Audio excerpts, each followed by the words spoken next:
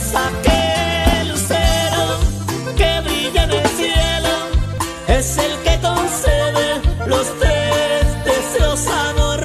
Ayer yo le pedí que esta noche vinieras y conmigo estuvieras, me dijeras